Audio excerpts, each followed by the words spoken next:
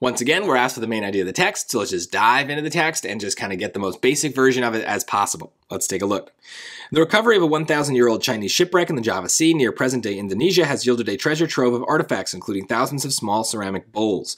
So, treasure trove, of artifacts, bowls. Seems good. Notice I'm not I'm not going to try to memorize that it's a thousand years old. I don't care that it's Chinese. I don't care where the Java Sea is. Doesn't matter. Those kind of details are not going to be what comes up. Just focus on the overall, like, all right, it's about the bowls. Um, using a portable X-ray fluorescence analyzer tool. Don't know what that is. Don't care. Lisa Niziolek and her team. Don't know who they are. Don't care. Uh, were able to detect the chemical composition of these bowls without damaging them. Great.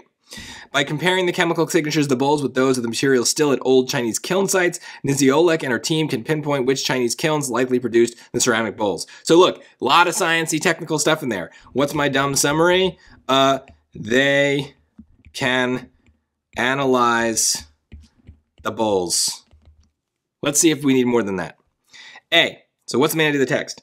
Because of a new technology, researchers can locate and recover more shipwrecks than they could, could in the past. This is about the wrong main character. The main character of the passage, we said it early, was the bowls. Okay? The whole time they're talking about the bowls. Are they talking about the shipwrecks? No. The shipwreck is a side character. It's the bowls that are the main character. B. Researchers have been able to identify the location of a number of Chinese kilns in operation a thousand years ago. Again, main character's wrong. It's not about the kilns. It's about the bowls. If it's if we wanted the location of something, it's the location of the bowls where they were made, not where the kilns themselves are, but where the the bowls are when they started. C. With the help of a special tool, researchers have determined the likely origin of bowls recovered from a shipwreck. Yeah, I noticed the special tool was some X-ray machine. I don't, I didn't care about that when I was reading it. I knew that they weren't going to be like, okay, you got to remember the specific name of the X-ray machine and and the fluorescence or whatever it's called I knew it was going to matter. If, if it came up again, I could just go look, go look back. Don't try to memorize those kind of complicated scientific sounding things. That's not what it's about. You know what a bowl is, and you know how, what it means to measure how old something is. That's the simple stuff that's going to really matter for these questions. So this seems right. It does talk about the origin of the bowls, and, and they can pinpoint it. So let's, let's just take a look at D, see if that's any better. Before the invention of portable X-ray fluorescence, researchers needed to take a small piece out of an artifact to analyze its components.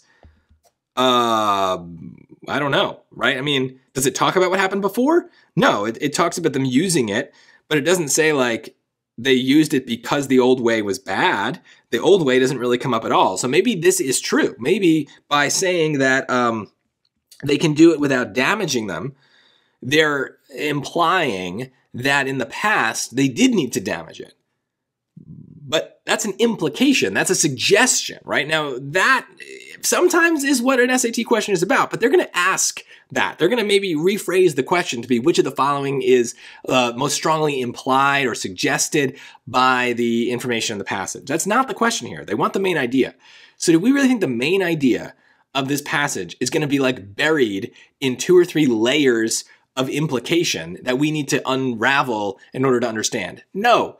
What did we say originally without much thinking the passage was about? The bowls. Choice C is about the bowls. Choice D is about the method that they used in the past before they even wrote this passage. So that's way too far removed. Stick to the simplest thing. It's probably going to be right. So there you go. Keep it, keep it clean, uh, keep it simple, and you'll probably see much more easily without getting overwhelmed what the right answer is going to be.